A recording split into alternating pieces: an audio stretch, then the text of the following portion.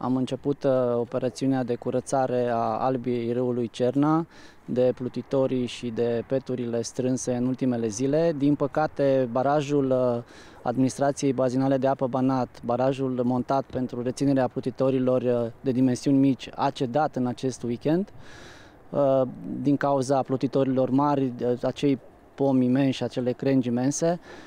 Operațiunea de curățare a devenit mult mai greoaie, intervenția cu utilaj de dimensiuni mari, cu acel graifer, nu mai este posibilă.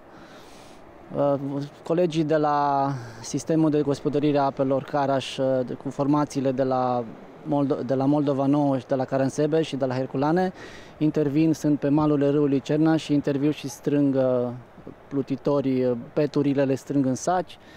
Colegii de la Administrația Baținală de Apă Jiu sunt în Golful Orșovei și de asemenea strâng acești plutitori cât se poate, în limita posibilității.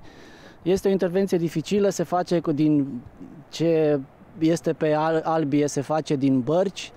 Uh, de pe malul apei, uh, colegii sunt echipați cât de corespunzător.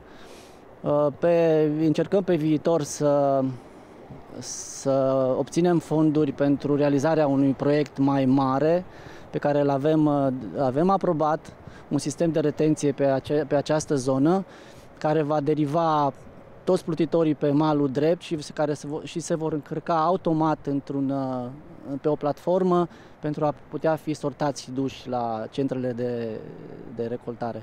Avem uh, vești că să vom avea, vom primi banii necesari, aproximativ 2 milioane de lei este acest sistem de retenție. Această situație este provocată în special de, de neglijența oamenilor, de uh, toți uh, localitățile situate în amonte, uh, calitatea oamenilor, să zic așa, și uneori neputința autorităților de a sancționa aceste ilegalități. Efectiv, pe malul apei se strâng și aruncă lumea în, în, pe mal sau în apă tot felul de, de deșeuri. Acestea, când apele cresc, când ploile și uh, debitele sunt mari, sunt preluate și aduse în aval.